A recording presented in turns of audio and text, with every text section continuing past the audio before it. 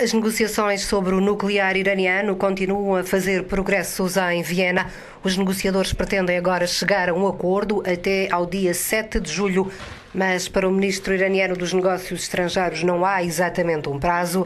Mohammad Javad Zarif disse aos jornalistas que os trabalhos vão continuar e vão ser aproveitadas todas as oportunidades para fazer progressos, indicando que o responsável da Agência Internacional de Energia Atómica vai deslocar-se a Teherão.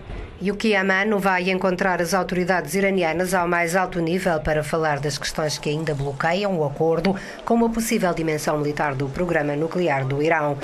A enviada da Euronews a Viena, Rayane Mazaeri, diz que, apesar da extensão do prazo das negociações, ambos os lados manifestam agora mais esperança de que se chegue a acordo.